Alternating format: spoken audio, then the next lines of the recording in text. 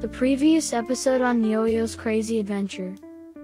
In the previous episode, we saw Yo-Yo get expelled from school, and his father decided to send him to a new and special school, Safety Shadows Academia. Hi, I'm Yo-Yo, and I'm 12 years old. I'm an inventor, and I've made over 100 different types of yo-yos. For example, the rescue helicopter yo-yo can carry up to 250 kilograms for 5 hours. Present time, Principal's office at Safety Shadows Academia. Hello dear Yo-Yo, we saw your video and we think this school could be a great fit for you. By the way, I'm Mr. Yeti. If you're interested, Ms. Westwind will show you around the school.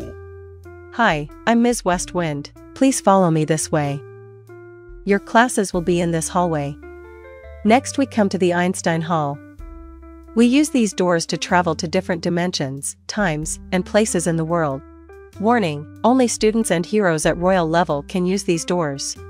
And of course, there are also doors in the mission room that can take you on all sorts of adventures. Next, we come to the comic book creation room. Here, superheroes tell their stories to our designers and publish their own comic books. Meow meow meow meow. And finally, this picture shows three of the best teachers in our school. I think I'm in love with this school. Coming soon. Hi, I'm Crazy Yo-Yo. Watch my story here.